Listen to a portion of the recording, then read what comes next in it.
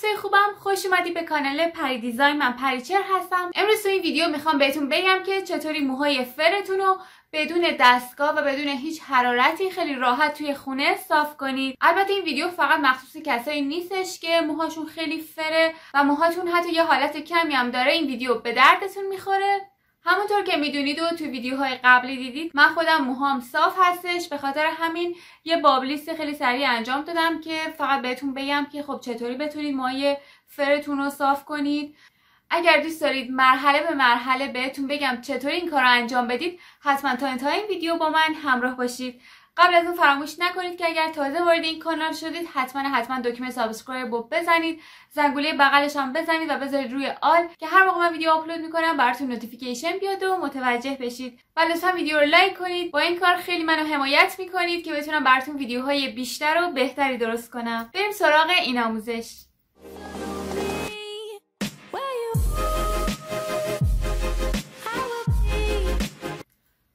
اولین مرحله که باید انجام بدیم این هستش که موهامون رو خیلی خوب شونه بکشیم.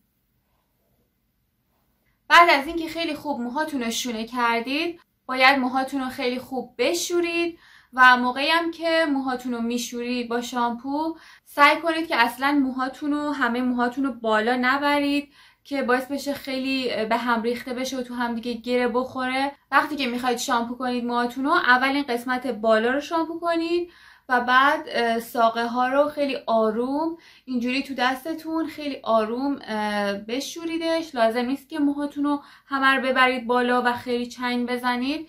خیلی آروم می‌تونید این کار انجام بدید و ساقه موهاتون رو یه طوری که گره نخوره خیلی آروم بشورید. بعد از شامپو هم می‌تونید از نرم کننده یا ماسک مو استفاده کنید. اگر از ماسک مو استفاده می‌کنید که خب می‌تونید ده دقیقه بذارید ماسک روی موهاتون بمونه و بعدش موهاتون رو بشورید. خب من میرم که موهامو بشورم. خب من موهامو شستم اول شامپو زدم بعدم یه مقدار نرم کننده زدم. حالا اگه بخوام بگم چی استفاده کردم. من کلا اینجوری نیستم که روی یه برند بمونم. چیزهای مختلف رو استفاده می‌کنم برندهای مختلف رو امتحان می‌کنم. ولی خب چند وقت که از شامپوی هدن شولدر قبلا می‌زدم که احتمالا همتون می‌شناسین.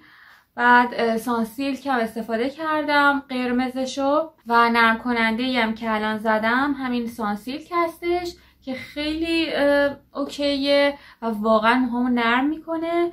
شامپو هم برند گلیسکور از همون شرکت شارسکوفه که اینم جدیده قبلا مشکیش رو استفاده کردم. ولی خب میگم من هی برندهای مختلف رو امتحان می‌کنم. دیگه هر کدوم که به موهام بسازه همون رو استفاده می‌کنم. شما هم از هر برندی که فکر می‌کنید خوبه و برای موهاتون مناسبه می‌تونید استفاده کنید.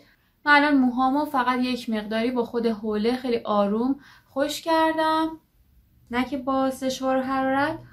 الان یه مقداری شونه می‌کنم. من با اینکه موهام صافه ولی وقتی که میشورم یه مقداری گره می‌خوره. ولی وقتی که این نرم کننده رو می‌زنم حالا هر برندی. سانسیل که ازش راضیم قبلا برنده دیگه داشتم. کلا نرم کننده خیلی خوبه. نرم کننده ماسک مو خیلی کمک می‌کنه موهاتون خیلی راحت شونه میشه. من معمولا موهامو یه مقداری سشوار می‌کشم. کلا اگه بخوام روتینم رو بگم بعدش از این اسپریای حالا یا دو فاز یا اسپری استفاده می‌کنم که این اینم جدید دارم استفاده می‌کنم. خوبه ازش راضیم. ولی خب امروز دیگه من با سشوار موهام خوش نمی‌کنم چون می‌خوام دیگه کاملا بدون هیچ حرارتی باشه. حالا کلا چون موهای من صافه می‌بینید که الان خیلی هم صاف شد.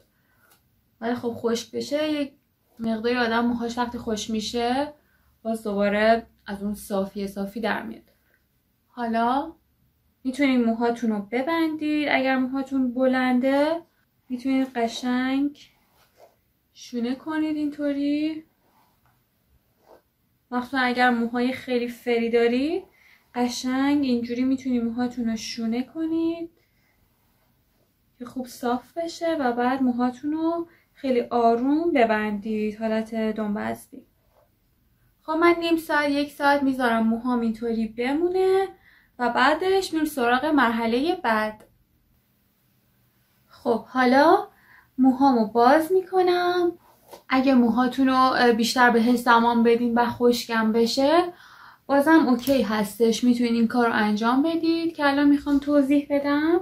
خب وقتی که خوب موهاتون رو شونه کردید حالا موهاتون رو باید از وسط تقسیم کنید به دو قسمت. بعد موهای هر طرف رو میاریم طرف دیگه و با پنس و با این پنسا fix ش می‌کنیم. حالا می‌تونید موهاتون رو هر طوری که براتون راحت تره بیارید بالا و اون طرف fix ش کنید. اگر که موهاتون خیلی بلنده که خب راحت میاد این طرف سرتون و موهای این طرف هم می‌تونید بیارید این طرف. موهاتون رو می‌تونید تقسیم کنید. یه قسمت. جدا می‌کنم شونه می‌کنم میارمش بالا.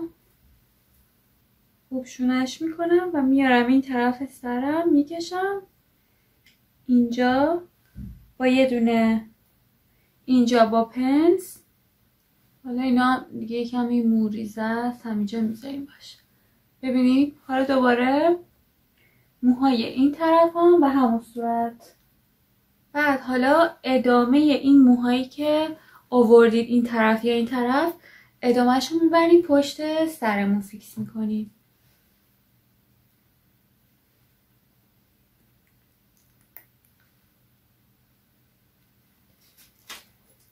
مهم اینه که موهاتون صاف شونه بشه و بیاد بچسبه به سرتون. موهاتون رو با یه پارچه روسری حالا ترجیحاً اگر پارچه ابریشمی باشه که بهتره. حالا من از همین شال استفاده می‌کنم.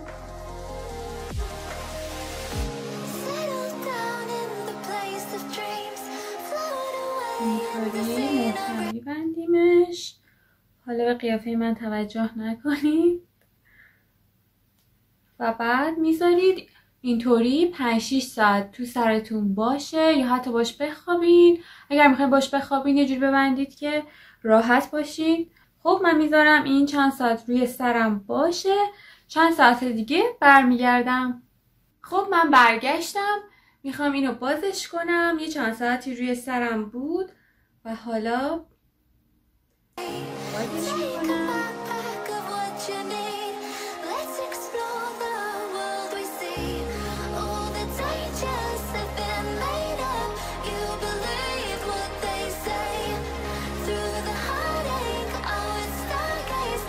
پارچه‌ای که دور سرتون میبندید اگر روسری باشه خیلی بهتره که بتونین محکم دور سرتون گره کنید که اصلا تکون نخوره. برای کسایی که واقعا موهاشون فر هستش می‌تونن این تغییر رو خیلی احساس کنن.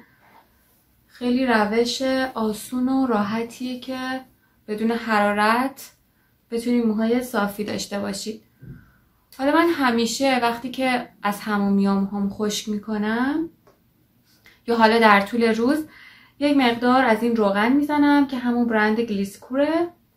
روغن آرگانه. حالا فرق نمی‌کنه از هر برندی. روغن آرگان خیلی خوبه. به پایین موهام ساقه های موهام یک مقدار می‌زنم. یا مثلا حتی هفته یک بار روغن نارگیل. می‌تونید به ساقه های موهاتون بزنید. اونم خیلی خوبه. روغن نارگیل طبیعی.